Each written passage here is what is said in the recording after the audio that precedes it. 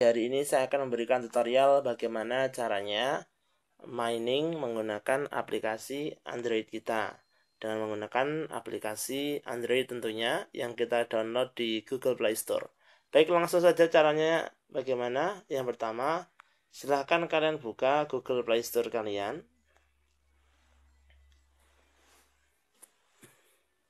Kemudian silahkan kalian ketik MinerGate tulisannya miner gate.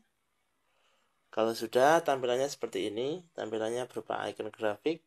Kemudian klik tombol install atau pasang. Terima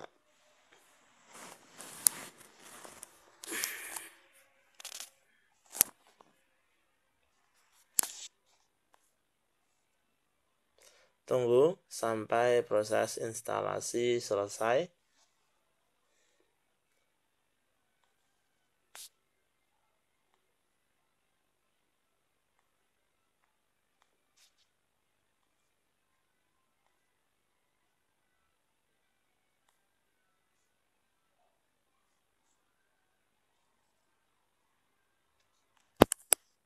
Nah, kalau sudah selesai, atau sudah terpasang pada HP Android kalian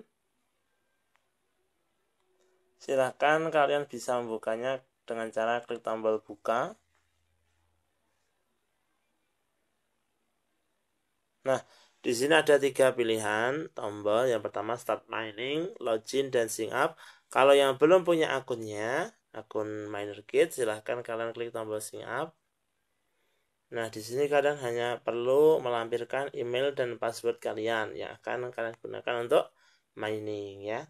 Jadi sangat mudah dan simple. Kalau saya sudah punya akunnya, jadi saya hanya tinggal hanya perlu login saja. Login, saya akan masukkan email saya.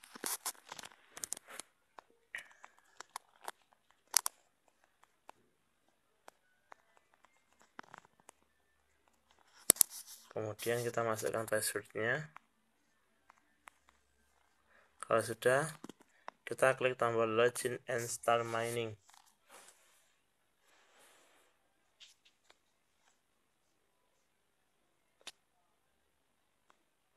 Nah, di sini kita disuruh untuk masukkan uh, PIN kode berfungsi agar untuk menjaga keamanan akun kita dan berfungsi sebagai proses untuk withdraw atau payout. Nah, di sini saya akan jelaskan teman-teman.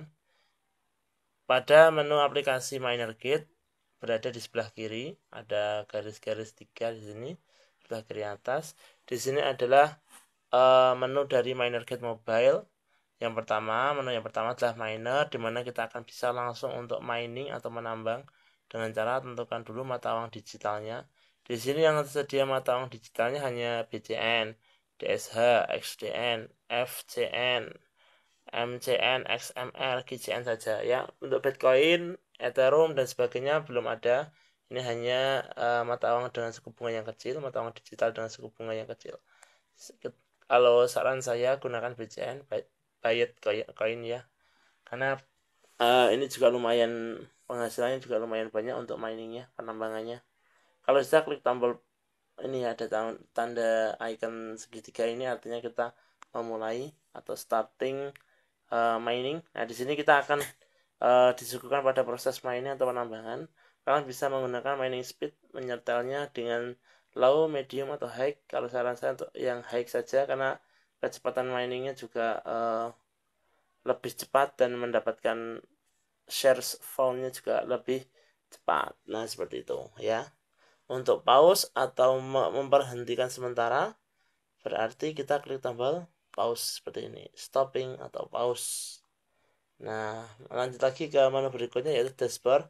Di mana dashboard di sini adalah uh, menampilkan seluruh mata uang dan pendapatan kita ketika kita sedang melakukan mining. Di sini saya sering menggunakan BCN ya.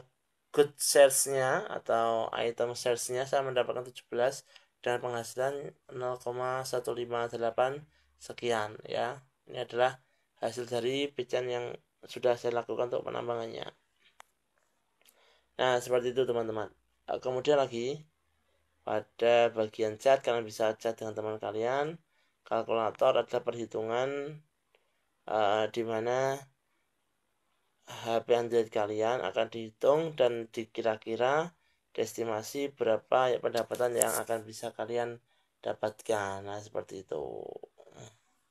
Baik teman-teman semuanya, mungkin hanya itu yang bisa saya sampaikan. Semoga ini bisa bermanfaat. Akhir kata, Assalamualaikum warahmatullahi wabarakatuh.